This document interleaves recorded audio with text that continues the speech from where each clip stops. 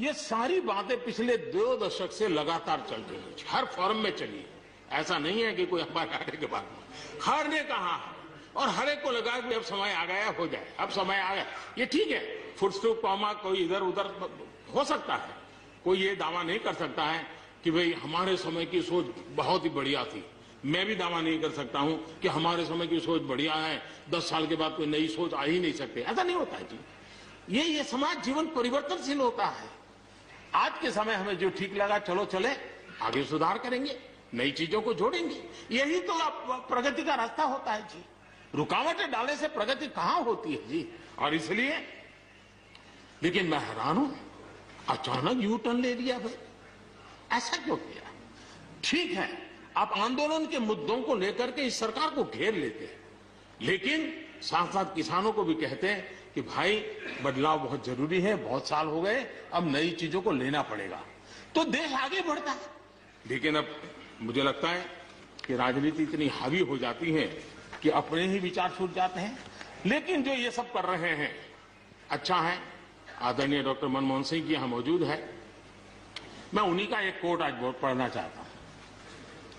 हो सकता है जो यूटर्न कर रहे हैं, वो मेरी बात माने या न माने, मनमोहन सिंह जी की तो बात ज़रूर मानेंगे।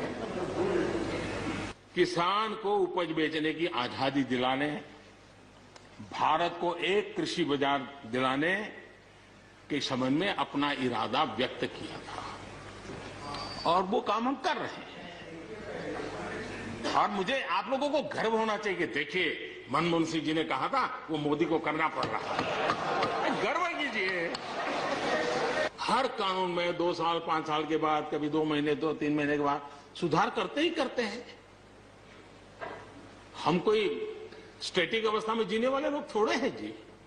जब अच्छे सुझाव आते हैं तो अच्छे सुधार भी आते हैं। और सरकार भी अच्छे सुझावों को और सिर्फ़ हमारी नहीं, हर सरकार ने अच्छे सुझावों को स्वीकार किया। यही तो लोकतंत्र की परंपरा है।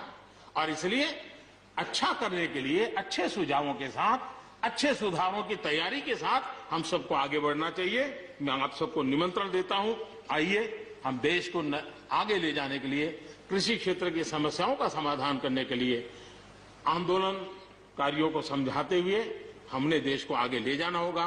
हो सकता है कि शायद आज नहीं तो कल जो भी यहाँ होगा, किसी न किसी को ये काम करना ही पड़ेगा। आज मैंने किया है, गालियाँ मेरे खाते में जाने दो, लेकिन इस अच्छा करने में आप जुड़ जाओ। बुरा हो मेरे खाते में अच्छा हो आपके खाते में, आओ मिलकर के चले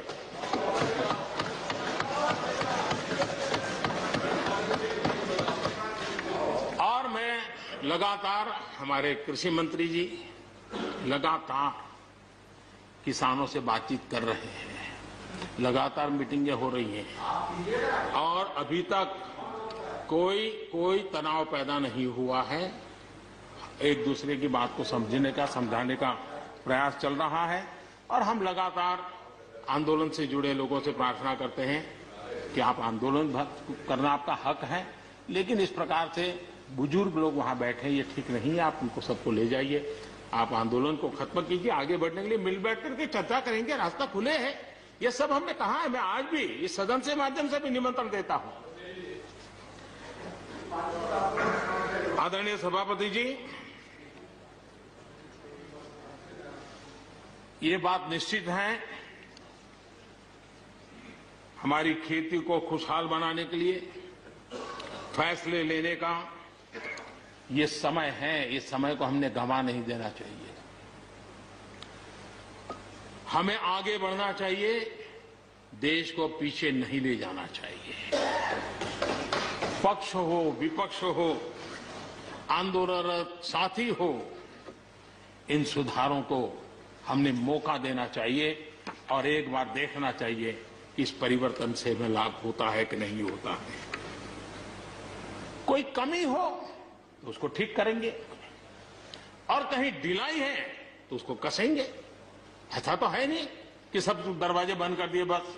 और इसलिए मैं कहता हूँ, मैं विश्वास दिलाता हूँ कि मंडियाँ अधिक आधुनिक बने, अधिक प्रतिस्पर्धी होगी। इस बार बजट में भी उसके लिए हमने प्रावधान किया है। इतना ही नहीं, एमएसपी है एमएसपी था एमएसपी रहेगा। इस सदन की पवित्रता समझे हम। जिन अस्सी करोड़ से अधिक लोगों को सस्ते में राशन दिया जाता है, वो भी कंटिन्यू रहेगा। इसलिए मेहरबानी करके भ्रम फैलाने के काम में हम न जुड़े, क्योंकि हमको देश ने एक विशिष्ट जिम्मेवारी दी है। किसानों की आय बढ़ाने के जो दूसरे उपाय हैं, उन पर भी हमें बल देने की ज़रूरत है। आबादी बढ़ रही है, परिवार के अंदर सदस्यों की संख्या बढ़ रही है, ज़मीन के टुकड़े छोटे होते जा रहे हैं। ऐसी स्थिति में हमें कुछ न कुछ ऐसा करना ही होगा ताकि किसानी पर बोझ कम हो और हमारे किसान के परिवार के लोग भी रोजी रोटी कमाने के लिए उनके लिए हम और अवसर उपलब्ध करा सकें। भारत की ताकत। ऐसी समस्याओं के समाधान करने की और नए रास्ते खोजने की रही है। आगे भी खुलेंगे। लेकिन कुछ लोग हैं जो भारत अस्थिर रहे, अशांत रहे, इसे लगातार कोशिशें कर रहे हैं। हमें इन लोगों को जानना होगा। हम ये न भूलें कि पंजाब के साथ क्या हुआ। जब बंटवारा हुआ, सबसे ज़्यादा भुगतना पड़ा पंजाब को। जब 84 के दंगे हुए, सबसे ज़्यादा आँसू बहे पंजाब के। सबसे ज़्यादा दर्दनाक घटनाओं का शिकार होना पड़ा पंजाब को। जो जम्मू कश्मीर में हुआ, निर्दोषों को मौत के घाट उतार दिया गया। जो नॉर्थ ईस्ट में होता रहा, आए दिन बम बंदूक और गोलियों का कारोबार चलता रहा। ये सारी चीज़ों ने देश को किसी न किसी रूप में बहुत नुकसान किया है। इसके पीछे कौन ताकत है? हर समय हर सरकारों ने इसको देखा है, जाना है, परखा है। और इसलिए हमें उस जज्बे से, इन सारी समस्याओं के समाधान के लिए हम तेज़ी से आगे बढ़े और हम ये न भूलें कि कुछ लोग हमारे खास करके पंजाब के, खास करके सिख भाइयों के दिमाग में गलत चीज़ें भरने में लगे हैं। ये देश हर सिख के लिए गर्व करता है। देश के लिए क्या कुछ नहीं किया इन्होंने? उनका जितना हम आदर करें उतना कम है।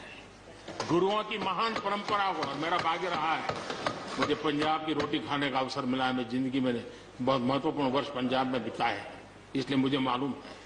और इसलिए जो भाषा उनके लिए कुछ लोग बोलते हैं, उनको गुमराह करने के जो लोग प्रयास करते हैं इससे कभी देश का भला नहीं होगा। और इसलिए हमें इन दिशा में चिंता करने की आवश्यकता है। आदरणीय सभापति महोदय हम लोग कुछ शब्दों से बड़े परिचित हैं। श्रमजीवी, बुद्धिजीवी, ये सारे शब्दों से परिचित हैं। लेकिन मैं देख रहा हूँ कि पिछले कुछ समय से इस देश में एक नई जमात पैदा हुई है। एक नई बिरादरी सामने आई है। और वो है आंदोलन जीवी। ये जमात आप देखोगे वकीलों का आंदोलन है। वो न वहाँ नज़र आएँगे। स्टूडेंट का आंदोलन है वो वहाँ नज़र आएँगे। मजदूर का आंदोलन है वो वहाँ नज़र आएँगे।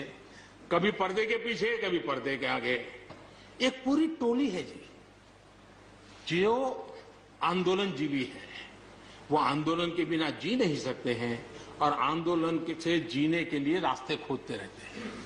हमें ऐसे लोगों को पहचानना होगा कि वो जो सब जगह पे पहुँच करके और बड़ा आइडियोलॉजिकल स्टैंड दे देते हैं, गुमराह कर देते हैं नए नए तरीके ढूंढो, बता देते हैं। देश आंदोलन जीवी लोगों से बचे, इसके लिए हम सबको, और ये उनकी ताकत है, उनका क्या है?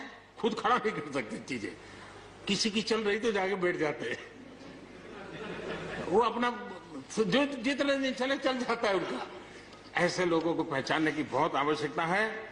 ये ये सारे आंदोलन जीवी परजीवी होते हैं।